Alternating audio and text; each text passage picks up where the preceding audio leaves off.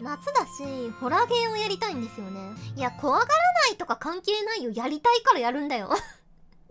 みんなもついてきてくれ。ホラゲー実況は叫びすぎるとバンされる。本当に？